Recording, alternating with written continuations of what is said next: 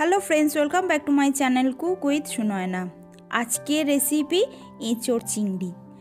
চিংড়ি মাছ বাঙালিদের একটি অতি প্রিয় মাছ। এপার বাংলারই হোক বা ওপার বাংলারই হোক, আমরা বাঙালিরা বিভিন্ন ধরনের পদ রান্না করে খেয়ে থাকি এই চিংড়ি মাছ দিয়ে।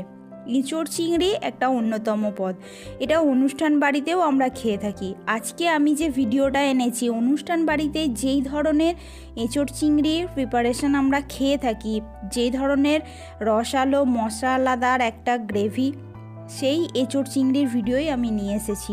কীভাবে এঁচড় চিংড়ি বানালে এর স্বাদ একদম অনুষ্ঠান বাড়ির মতো হবে, সেটা আজকের ভিডিওটা দেখলেই বুঝতে পারবেন। তাহলে আজকের আমার এঁচড় চিংড়ির ভিডিও শুরু করি।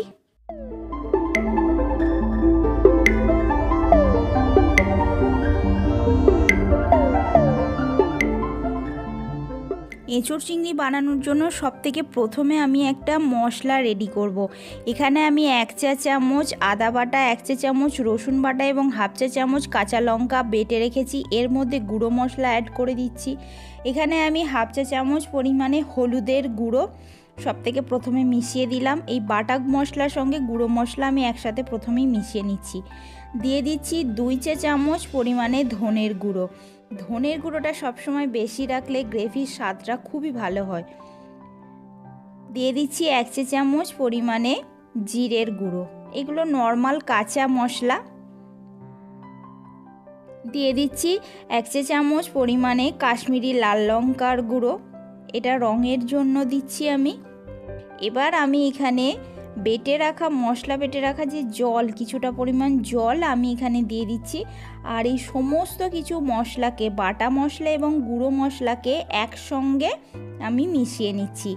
এইভাবে গুঁড়ো মশলা মিশিয়ে যদি জলের মধ্যে মিশিয়ে রেখে বা ভিজিয়ে রেখে রান্না করা হয়, তাহলে এর স্বাদটা বাটা মশলার মতনই হয়ে থাকে। তো যেহেতু এটা সাবেকি রান্না, সাবেকি রান্নায় সাধারণত বাটা মশলাতেই হয়ে থাকে। তো আমি বাটা মশলার ব্যবহার না করে গুঁড়ো মশলা দিয়েও কীভাবে সেই স্বাদ আনা যায়, সেটাই আমি আপনাদের দেখিয়ে দিচ্ছি। তো এবার মূল রান্নায় যাব। তো সেই কারণে গ্যাসের মধ্যে একটা কড়াই বসিয়ে নিয়েছি। এখানে আমি প্রথমেই দিয়ে দিচ্ছি দুই টেবিল চামচ পরিমাণে সর্ষের তেল। যেহেতু এটা এঁচড় এবং চিংড়ি মাছ একদম অতি প্রাচীন সাবেকি রান্না, তো তাই আমি এখানে সর্ষের তেলটা ব্যবহার করেছি। আপনারা চাইলে সর্ষের তেলেও এইভাবে রান্না করতে পারেন, অথবা আপনারা যে ধরনের কুকিং অয়েল পছন্দ করে থাকেন বা খেয়ে থাকেন, সেখানেও সেই অয়েল দিয়েও আপনারা এটা বানিয়ে নিতে পারেন। তো এবার তেলটা গরম হয়ে গেছে। আমি এখানে দুশো গ্রাম মতো চিংড়ি মাছ রেখেছিলাম। খোসা ছাড়িয়ে লবণ এবং হলুদ মাখিয়ে ধু, ভালো করে ধুয়ে লবণ হলুদ মাখিয়ে রেখেছিলাম। তো এই মাছগুলোকেই প্রথমে আমি তেলের মধ্যে দিয়ে দিলাম। মাছগুলোকে প্রথমে ভাজা করে নেব। চিংড়ি মাছকে কখনোই বেশি ভাজবেন না, সামান্য ওলট পালট করে নিয়ে হালকা যখন কালার আসবে তখনই মাছটাকে উঠিয়ে নেবার চেষ্টা করবেন। তা না হলে এটা রাবারের মতো শক্ত হয়ে যায় এবং এর স্বাদটাও খুব একটা ভালো আসে না। তো সেই কারণে খুব বেশি সময় ধরে নয়, মিনিট দেড় থেকে দু মিনিট সময় ধরে ভাজলেই দুশো গ্রাম চিংড়ি যথেষ্ট। তো আমি চিংড়িটাকে একটু ওলট পালট করে দিয়েছি। তো দেখুন, চিংড়ির কালার এসে গেছে। আমি এটাকে আর ভাজবো না। বেশি ভাজলে চিংড়ির ভিতরের যে জুসি ফ্লেভারটা সেটা চলে যায়, একদম রাবারের মতো চুই হয়ে যায়। এবার আমি এগুলোকে উঠিয়ে নিচ্ছি একটা পাত্রের মধ্যে। আমি এই তেলটাই কিন্তু রান্নায় ইউজ করব, তাহলে স্বাদটা খুবই ভালো আসবে। তো এই তেলটার মধ্যে প্রথমে আমি চারশো গ্রাম মতো এঁচড়কে হালকা জলের মধ্যে প্লেন জলে ভাপিয়ে রেখেছিলাম। তো সেই ভাপিয়ে রাখা এঁচড়ের টুকরোগুলোকে আমি দিয়ে দিচ্ছি। এগুলোকে খুব ভালো করে আমি তেলের সঙ্গে ভাজা করে নেব। বেশ সুন্দর কালার আসবে। অনুষ্ঠান বাড়িতে এইভাবে সমস্ত উপকরণকে ভেজে নেওয়া হয়, তো তার জন্য এই স্বাদটা খুবই ভালো আসে। আমি সেই ট্রিকগুলোই আপনাদেরকে দেখিয়ে দিচ্ছি। এঁচড়গুলোকে সর্ষের তেলের মধ্যে ভালো করে ভেজে নিচ্ছি। তো দেখুন, এঁচড়গুলো বেশ কিছুটা ভাজা হয়ে গেছে, কালার এসে গেছে, আমি এবার এগুলোকে উঠিয়ে নেব। আমি এঁচড়ের টুকরোগুলোকে একটু বড় সাইজের রেখেছি। দেখতেও বেশ সুন্দর লাগবে। এগুলোকে আমি এবার উঠিয়ে নিচ্ছি একে একে। আমি এবার এখানে কড়াইতে আরও কিছুটা তেল ইউজ করব। এবার আমি এখানে দুই টেবিল চামচ পরিমাণ সাদা তেল দিয়ে দিচ্ছি। তো আপনারা সাদা তেলের পরিবর্তে সর্ষের তেলটা দিয়েও পুরো রান্নাটা করতে পারেন। আমি এটা দুটো কুকিং অয়েল মিশিয়ে রান্নাটা করছি। এবার আমি এখানে দিয়ে দিচ্ছি আলু। আলু ছাড়া বাঙালির যে কোনো পদ রান্নাই অসম্পূর্ণ। তো এখানে টুকরো করে কেটে রেখেছি তিনটে বড় সাইজের আলু, খুব বেশি বড় টুকরো করিনি। একটু মিডিয়াম সাইজের টুকরো করেছি। এই টুকরোগুলো আলুগুলোকে এবার আমি তেলের মধ্যে ভালো করে ভাজা করে নেব। বেশ সুন্দর লাল লাল কালার আসবে। আলুগুলো ভাজার সময় সামান্য আমি হলুদ গুঁড়ো দিয়েছিলাম, তো তার জন্য কালারটা খুবই সুন্দর এসেছে। আলুগুলো ভাজা হয়ে গেছে।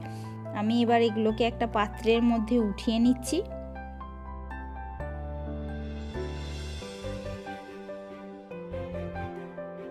এবার আমি গ্রেভিটা বানাবো।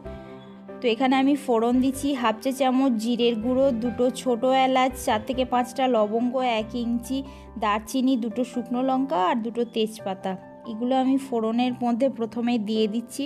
ফোড়নটাকে একটুখানি ভাজা করে নেব। সব সময় ফোড়নটা প্রথমে দিয়ে একটু ভাজা করে নিলে ফোড়নের যে গন্ধটা খুব সুন্দরভাবে তেলের মধ্যে মিশে যায়। আর এই গন্ধটাই রান্নারকে আরও সুন্দর একটা গন্ধ দেয় এবং রান্নার স্বাদটাকেও অনেকগুণ বাড়িয়ে তোলে। ফোড়নটা ভাজা হয়ে গেছে। এবার আমি এখানে দুটো মিডিয়াম সাইজের পেঁয়াজকে কুচি করে রেখেছি। আমি কিন্তু একদম মিহি করে কুচাইনি, একটু বড় সাইজের কুচিয়েছি। তো ওই পেঁয়াজটাকে দিয়ে দিলাম। পেঁয়াজটাকে এবার ভাজা করে নেব। একদম বেশ সুন্দর ব্রাউন কালার আসবে। সেরকম সময় মতো আমি ভাজবো, নাড়াচাড়া করতে থাকব। তো এখানে দেখুন পেঁয়াজটা বেশ সুন্দর ব্রাউন কালার এসে গেছে। পেঁয়াজটা ভালো মতন ভাজা হয়ে গেছে। সুন্দর দেখতে লাগছে। এবার আমি ওই যে মশলার মিশ্রণ যেটা বানিয়ে রেখেছিলাম, বাটা মশলা এবং গুঁড়ো মশলার, সেই সমস্ত মশলাটা এই পেঁয়াজের মধ্যে দিয়ে দিচ্ছি। এবার আমি মশলাটাকে কষাতে থাকব। বেশ সময় লাগবে মিডিয়াম ফ্লেমে ধীরে ধীরে এটাকে কষাতে থাকব। এটাকে হাই ফ্লেমেও কষালে কিন্তু মশলাটা পুড়ে যাবে। এর মধ্যে বেশি জল নেই যেহেতু। আর এর মধ্যে গুঁড়ো মশলা এবং বাটা মশলা সব মশলাগুলোই রয়েছে। এটাকে ধীরে ধীরে কষাতে থাকব। বেশ কিছুটা সময় লাগবে। তো কিছুক্ষণ কষানোর পর আমি এখানে দুটো মিডিয়াম সাইজের টমেটো রেখেছিলাম, কুচিয়ে রেখেছিলাম, সেটা দিয়ে দিচ্ছি। টমেটোটা মচবে যাওয়ার জন্য তাড়াতাড়ি আমি একটুখানি লবণ দিয়ে দিলাম। স্বাদ অনুযায়ী লবণটা দিলে টমেটোটা খুব তাড়াতাড়ি মজে যায়। আর আমি এখানে এক চা চামচ পরিমাণে চিনি দিয়ে দিচ্ছি যে কোনো বাঙালি রান্নায় লবণ এবং চিনিটা পড়ে থাকে। তো চিনিটা খুব বেশি এটা মিষ্টির জন্য নয়, সমস্ত যে মশলার ব্যালেন্সগুলোকে স্বাদ ঠিক রাখার জন্য আমি লবণ এবং চিনিটা দিয়েছি। তো দেখুন এখানে মশলাটা বেশ সুন্দর করে কষানো হয়ে গেছে। আমি বেশ কিছুক্ষণ সময় ধরে কষিয়েছি মশলাটা, টমেটোটাও সুন্দরভাবে ম্যাশ হয়ে গেছে। এবং মশলাটা দেখতেও বেশ সুন্দর লাগছে। এবার আমি এখানে দিয়ে দিচ্ছি চার টেবিল চামচ পরিমাণে টক দই। টক দইটাকে ভালো করে ফেটিয়ে রেখেছিলাম।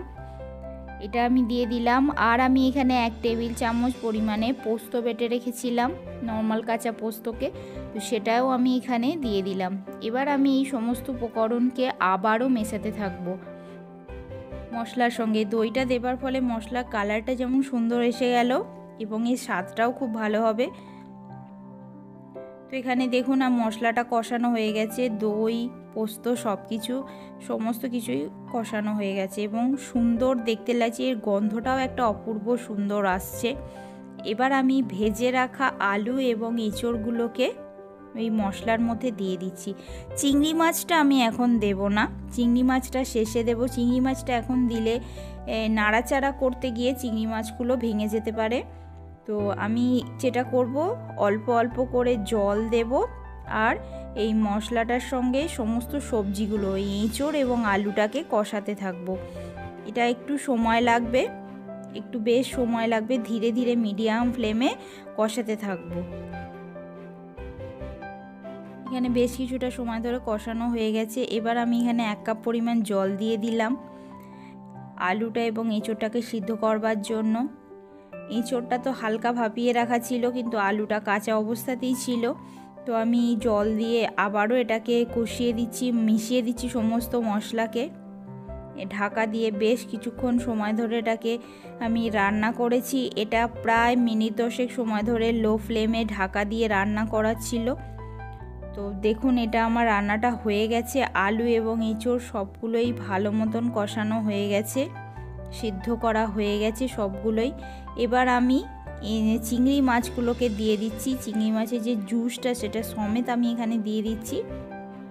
তো এবার এটাকে, চিংড়ি মাছটাকে এই তরকারির সঙ্গে ভালো করে আমি মিশিয়ে দিচ্ছি যাতে চিংড়ির সমস্ত ফ্লেভারগুলো এইখানে চলে আসে। দিয়ে দিচ্ছি ওয়ান ফোর চা চামচ গরম মশলার গুঁড়ো। গরম মশলা গুঁড়ো ভিডিও আমার চ্যানেলে রয়েছে। লিঙ্কটা ডিসক্রিপশান বক্সে দেওয়া থাকবে। আপনারা সেখান থেকে দেখে নিতে পারেন। কীভাবে গরম মশলা বানালে খুব অল্পতে কাজ হয়ে যায়, সেটা দেখলেই বুঝতে পারবেন। তো ঢাকা দিয়ে আমি কিছুক্ষণ রেখে দিলাম, আমার রান্না কমপ্লিট। এখানে আমি একটা পাত্রে সার্ভ করে নিচ্ছি। দেখুন, রান্নাটা কত সুন্দর দেখতে হয়েছে এবং কালারটা যেমন সুন্দর এসেছে, একটা অসাধারণ সুন্দর গন্ধও আসছে। এটা যে কোনো ধরনের ভাত বা পোলাও কিংবা রাইসের সঙ্গে যে কোনো কিছুর সঙ্গে খাওয়া যেতে পারে। যে কোনো ছুটির দিনের দুপুরেই হোক বা যে কোনো দিন। তো আজ এই পর্যন্তই। আবার দেখা হবে আপনাদের সঙ্গে অন্য কোনো এক ভিডিও নিয়ে। ততক্ষণের জন্য ভালো থাকুন, সুস্থ থাকুন। নমস্কার।